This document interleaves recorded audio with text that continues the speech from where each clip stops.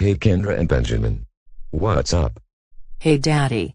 Since it's Friday evening, we're going out tonight. That's alright, but remember to be back before 10 p.m., okay?